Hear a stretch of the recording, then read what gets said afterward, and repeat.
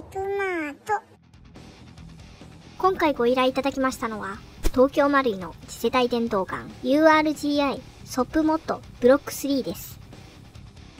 カスタムご依頼内容は、リコイル機能のオミット、トリガーのショートストローク化、電気配線を電動効率のいいテフロンコードへ交換、リポバッテリー搭載化と配線ストックイン化、グリップを PTS、EPGC カスタムグリップへ交換、ストックを実物、工具、バットストックへ交換。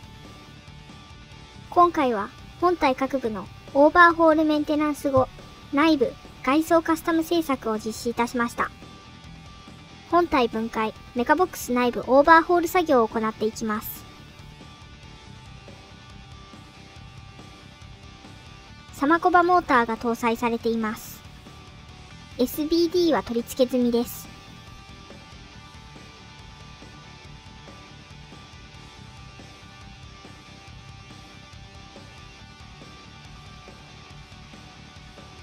グリス汚れが見られます。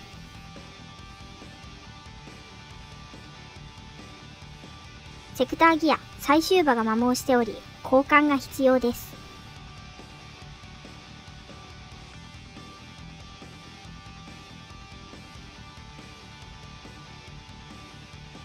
電気配線を電動効率のいいテフロン配線へ交換していきます。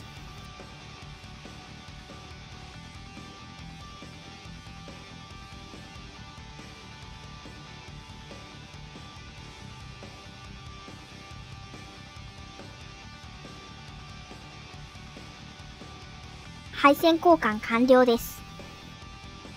トリガーをショートストロークタイプのカスタムスイッチへ交換、調整を行います。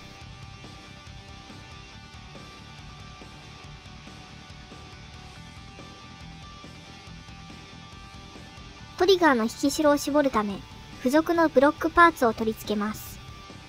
この状態でトリガーを引いてもスイッチは接点と接触しません。付属のプラ板を貼り、トリガーの初期位置をかさ上げします。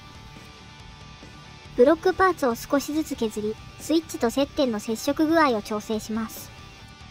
トリガーの引き代は半分ほどで調整しました。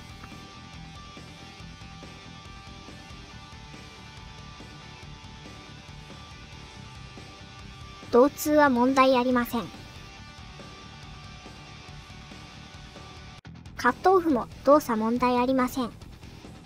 スイッチユニット完成です。摩耗したセクターギアを強化品へ交換します。ギア3点を円滑にドライブできるようギアシム調整を行います。ベベルギア1出し、モーターノイズ調整。再組み立て、接点グリストフ、グリスアップ、オイル注油を行います。メカボックス完成です。レシーバー組み上げ、カスタムグリップを組み込みます。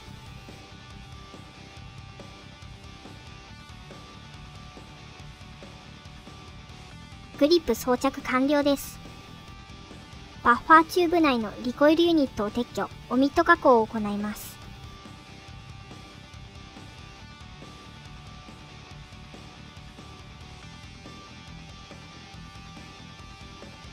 リコイルオミット完成です。インナーバレル、チャンバーユニット分解、清掃、メンテナンスを行います。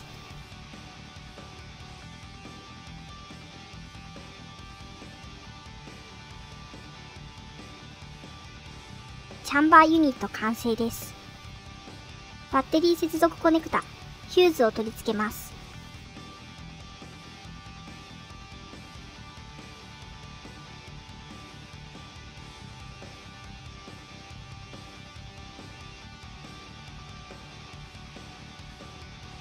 ロアレシーバーユニット完成です。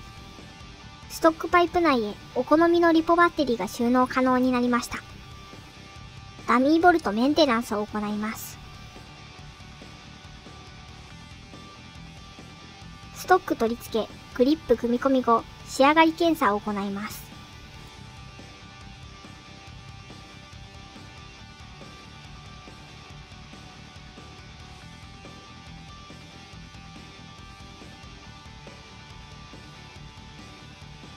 カスタム前後のトリガーストロークを比較してみましょう。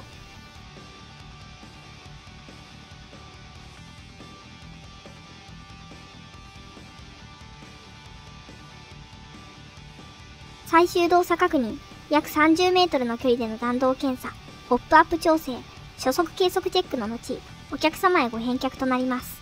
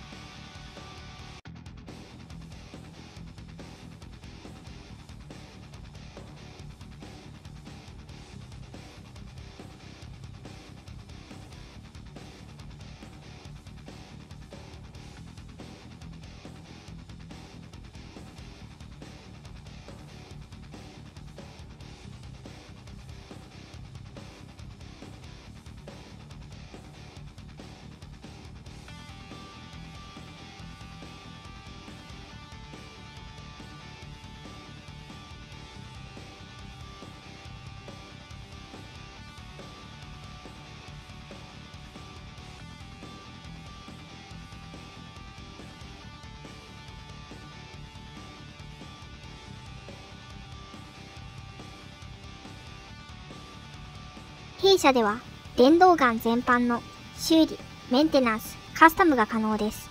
ご依頼の際にお気軽にお問い合わせください。